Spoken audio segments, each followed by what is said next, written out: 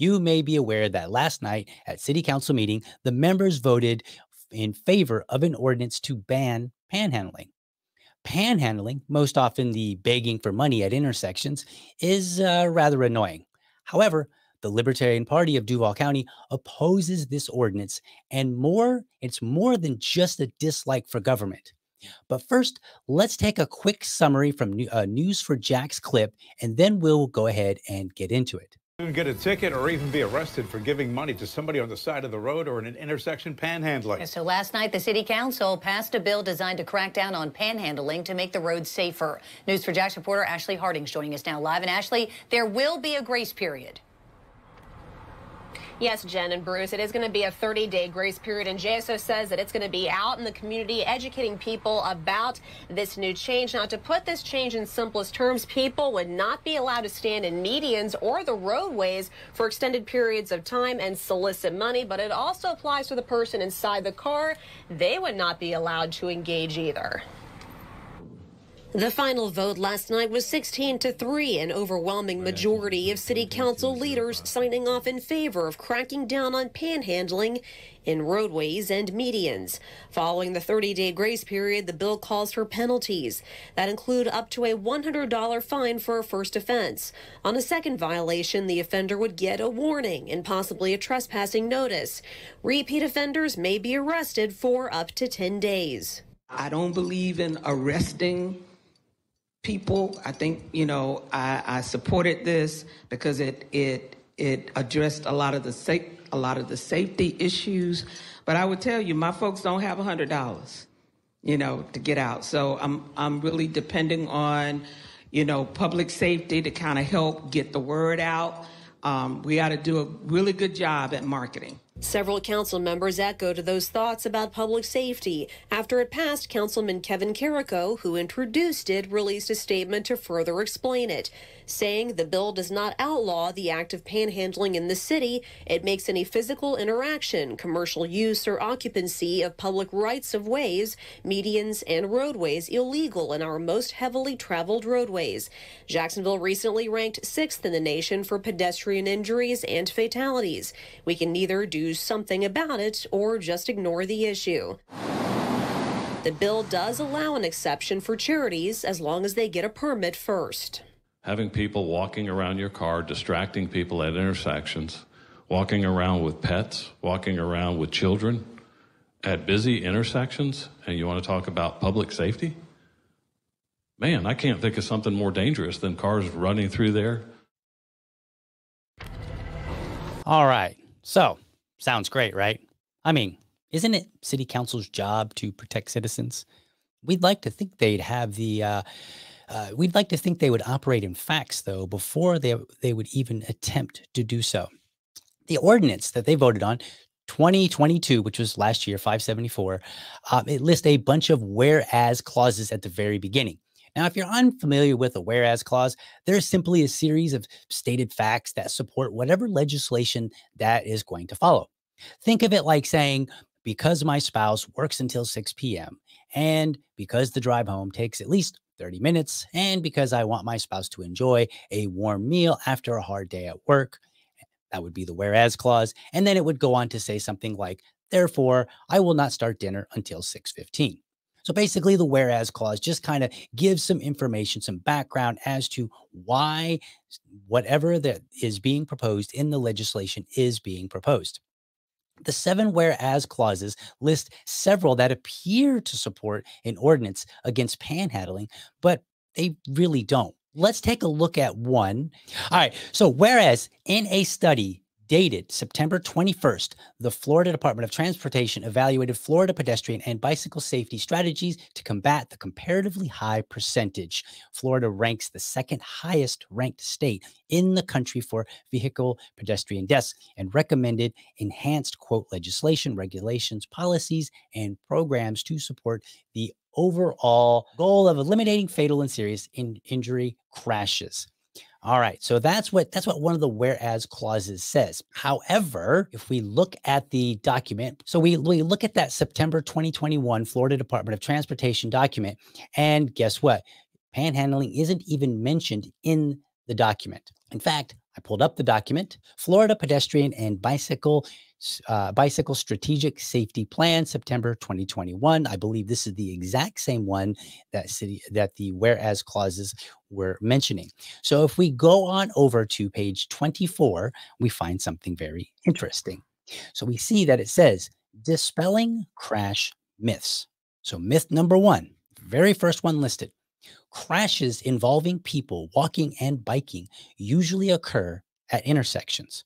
However, it says the fact is that the majority of pedestrian crashes are reported to occur away from intersections. And if we look down here at the nice little graphic that they have provided, we see that pedestrians make up tw- uh, 26% of all accidents, not fatalities, all accidents at intersections. What we could not find was any specific data regarding what percentage of that 20%, 26% were panhandling versus something else like simply walking or crossing the street. Now, it is true that Duval ranks high compared to other cities, as shown here on page 22. And we can see that we are the one, two, three, four, fifth one down, ranking relatively high above all of these other cities. But again, we're evaluating the claim of safety. And so far, this bill does not identify what percentage of accidents actually involve the act of panhandling.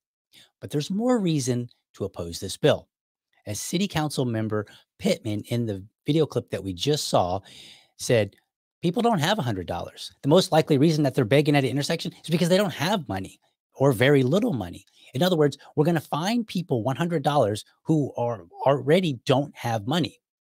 Furthermore, this bill outlines penalties based on incremental punishment. Now, you saw that in the video clip where they said, hey, on the first offense, you'll have this. On the second offense, you'll have this. And so you see that for the first offense, an offender is given an educational notice from JSO. On the second offense, they will receive an official warning and they may be trespassed. And then the third offense, a civil citation, think of this like receiving a traffic ticket instead of a warning, like on the second offense. And then finally, the fourth violation is subject to being arrested. The ordinance is presented as for safety to cut down on pedestrian vehicle accidents. Yet only 26% of all pedestrian uh, all, all pedestrian accidents even occur at intersections. It's unknown what number are even related to panhandling. And finally, the bill to ensure safety of citizens takes a very gradual approach. You get an educational warning, then you get um, an official warning, then you may get a citation, then you get arrested. Safety doesn't seem to be very a very big priority here, does it? But we're not done yet. Remember in the News4JAX clip where they said the driver may be cited? That's where the news reporter was sitting in the car holding some dollar bills. Oh, yeah. If someone is asking for money and I roll down my window and I give them a $5 bill, I may be cited as well. In other words, the city of Jacksonville has just made it a crime for one consenting adult to ask and receive money from another consenting adult just because the transaction is occurring at an intersection. The Libertarian Party firmly supports the idea of two consenting adults engaging in consenting behavior, such as asking for and giving money. Now, it may not be ideal when you're waiting in traffic for another person to, uh, that's driving to hand someone money.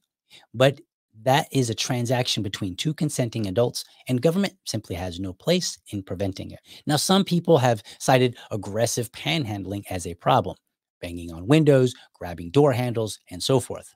We do oppose that behavior. That's aggression. And we support law enforcement getting involved anytime one person is aggressing on, on, uh, at another. But we have to draw the line with ordinances that are not really rooted in fact, because when they are not, it's likely that none of the problems that they're trying to solve will be solved. If you want to solve the real problem of pedestrian and cycling accidents, then identify when and where they occur and have an honest conversation about what can be done. More than likely, the issue is not really a criminal one, but one where the situation creates a conflict. For instance, when I first moved to Jacksonville, I happened to cycle down Bay Meadows between Southside and Phillips Highway once. Any accident that might have occurred would likely not have been a criminal in nature, but it would have been two people trying to get from point A to point B and finding that the situation, for whatever reason, was unsuitable to fit both in that moment. In the particular example I cite uh, down Bay Meadows between Southside and Phillips Highway, you know that there is absolutely no place for a cyclist. This was a lesson that I learned and why it's only happened once. If you want to solve the issue of panhandling, then you need to address the larger problem, and that's the need for money.